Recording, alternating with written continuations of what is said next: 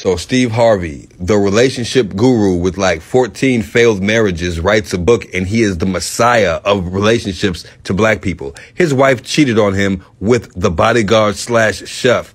His name is Big Boom and, uh, that's him. So I found this clip, uh, after she did the. she said, she said she wanted to sleep with the chef. What does that make me? Cause I gotta stay with this bitch. Survey said.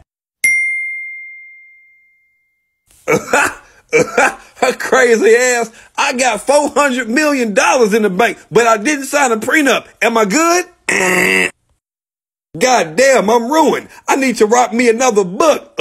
My crazy ass. That crazy bitch. When I see her, I'ma kick out the house. Kick out the house. I can't believe she did this to me. Why she do this to me?